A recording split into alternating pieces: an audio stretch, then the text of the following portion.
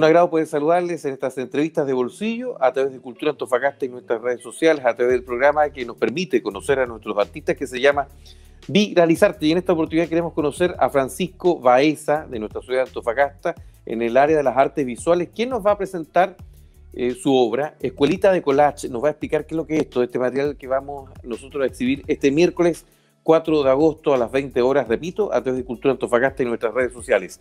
Le damos la bienvenida a Francisco. Francisco, gusto de saludarte. Hola, ¿qué tal, Felipe? Un gusto. ¿Cómo eh, vas? El gusto, es nuestro, Francisco. Francisco, eh, hagamos definiciones. Este, este material, Escuelita de Collage, explícanos de qué trata. Sí, mira, la Escuelita de Collage em, es un proyecto relacionado al collage, a la visibilización del arte collage en, bueno, en Chile en general. Y eh, este proyecto tuvo su primera versión, una, escuela educativa autogestionada que eh, le enseñaba a diversas personas de todas las edades eh, el arte collage. Y ahora en su segunda versión, gracias a la posibilidad de, del fondo de viralizarte, eh, pudimos generar una segunda versión que la vamos a hacer un video eh, que va a ser un material educativo que va a ser distribuido por las diversas redes sociales. Eh, la idea es poder educar y concientizar que el collage es un arte válido que no ha sido visibilizado de la así como de la mejor forma, que es importante reivindicarlo y que estamos para eso, para seguir así como creando este tipo de instancia, porque collage es cortar y pegar, pero además es una herramienta de expresión súper motivante y una herramienta terapéutica. Sin duda, porque uno se acuerda cuando uno era más niño, ¿no? Andaba detrás de todas las revistas, de todas las revistas, ¿no? Todas las revistas cortadas. Y, en ese sentido, eh, Francisco, nos vamos a encontrar este miércoles, el 4 de agosto, eh, con técnicas, ¿no? Con etapas. Cuéntanos un poco de, de, estos especies de módulos que van a estar todos juntos en este programa.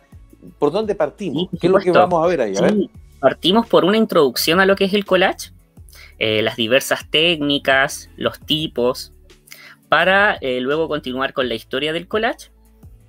Ya aquí les vamos a enseñar sobre todo lo, la historia en Chile del collage y como su la introducción también eh, y también después vamos a tener eh, lo que son el quebrantahuesos, que es una técnica especial de lo que es el collage. Y además vamos a tener el collage y la pintura. Eh, creo que la técnica, Francisco, ¿qué es lo que es la técnica del quebrantahuesos? El quebrantahuesos es una técnica antigua que lo hacían los, los... Había un colectivo que se llama quebrantahueso en Chile, ¿ya? Que te hablo de 1900... Mira, no, no, no, recuerdo muy bien la, fecha exacta, pero el quebrantahueso es el collage en palabras. ¿ya? Tú, ah, eh, es, una intervención que se realizaba, que lo hacía, mira, si, si no me equivoco, el Jodorowsky, Enrique Lin, y no me acuerdo del otro chico, pero eran, ah, Nicanor Parra. Perfecto, perfecto. ¿Ya? Ellos tenían un colectintas performance eh, que eran que eran eh, póster que creaban con collage y letras. ¿Aló? Sí, le estamos escuchando atentamente, maestro. Francisco. Francisco. ¿Aló, Felipe? Sí, me corté yo, parece. ¿Sí me escucháis bien? Ah, ya. Ya, como te decía. Atentamente. ¿Sí, sí? Ya, buena. Sí, sí, a mí se me había caído. Eh, y ellos realizaban eh, publicaciones nuevas que creaban ellos con los distintos periódicos y creaban una sátira.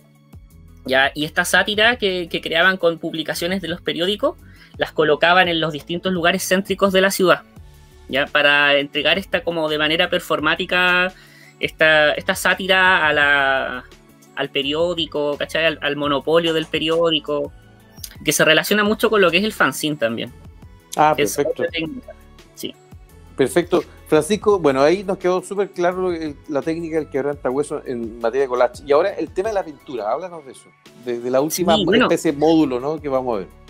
Sí, de hecho, eso se relaciona harto con lo que es la pintura también, puesto, o sea, con la pintura, perdón, con la historia de lo que es el collage, puesto que antes, al comienzo, el Picasso, el Break, George Break, eh, ellos creaban y combinaban estas técnicas como una técnica mixta.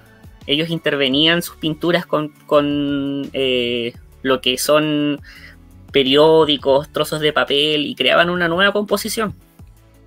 De hecho, congenian de una manera así súper buena ambas técnicas y son totalmente así como visualmente atractivas.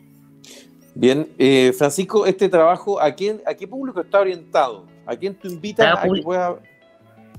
Ah, para todos, en verdad, para todos, para las personas, están desde los niños, adolescentes, bueno, más que todo a los adolescentes, desde los adolescentes a los adultos, hasta las personas mayores, puesto que igual en los cursos de collage que participo, constantemente van de todo tipo de público, de hecho, adolescentes, adultos, adultos mayores, de todo tipo.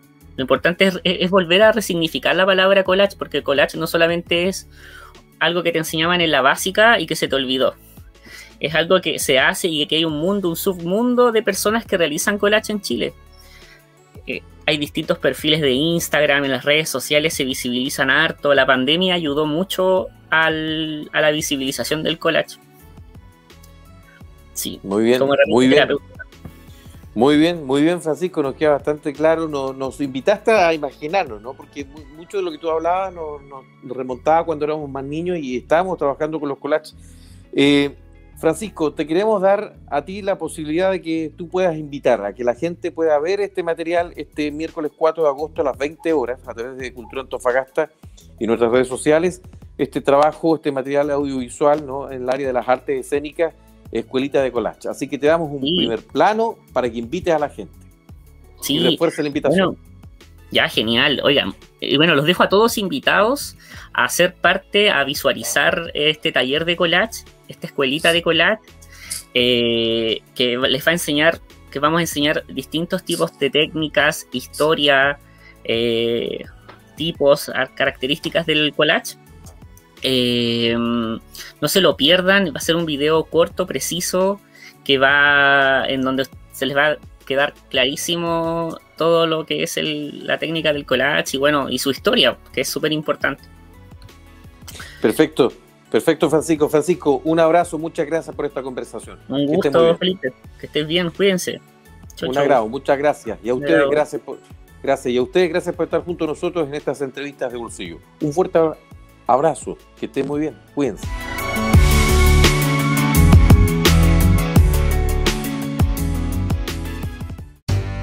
Este 2021, la Corporación Cultural de la Ilustre Municipalidad de Antofagasta promete cumplir con sus audiencias las expectativas para enfrentar el nuevo orden digital, un compromiso real con los procesos culturales que vive nuestra región, el país y el mundo. Tendremos un enorme despliegue territorial, conciertos en tiempo real, entrevistas, conversatorios, exposiciones virtuales, presentaciones artísticas, lanzamientos de libros y campañas de salud mental. La principal riqueza de nuestra tierra es nuestra gente. Síguenos en Cultura Antofagasta y todas sus redes sociales. Escondida BHP presenta la temporada oficial de conciertos de la Orquesta Sinfónica de Antofagasta 2021. 2021. La agrupación artístico-cultural más importante de la zona norte vuelve en gloria y majestad a encontrarse con su público en conciertos transmitidos en vivo y en directo desde el escenario del Teatro Municipal de Antofagasta. Queremos que disfrutes repertorios de gran envergadura en la comodidad de tu hogar, desde sus celulares o para apreciar en mejor calidad desde sus televisores en Cultura Antofagasta por Fanspage y YouTube Live. Orquesta Sinfónica de Antofagasta, escribiendo su historia rumbo a sus 60 años, siempre junto a ustedes.